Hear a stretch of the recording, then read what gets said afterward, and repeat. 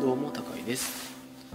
英才教育は将来に見合った適切な投資なのかについて考えてみたいんですけど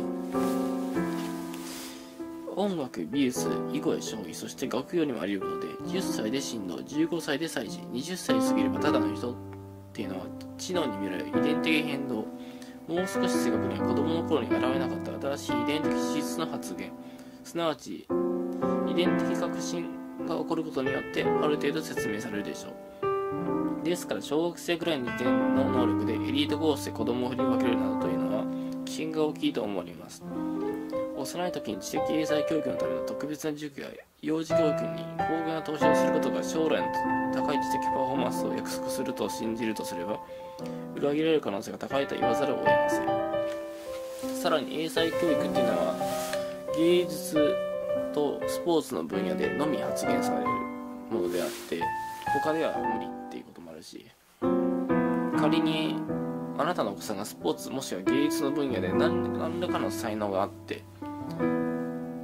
そして英才教育を受けさせてあげようって思った場合同じ教学校の中でさらなる天才が現れてしまった場合ですよ。そしたらあなたのお子さんはああ結局あいつの方が才能あるし俺には向いてなかったのかなって挫折する可能性だってある。それだけその中で熾烈な競争の中から生き残るっていうことをやってしまうとまあそれが開花する前に、まあ、競争に疲れてやめてしまうことだってある。さらに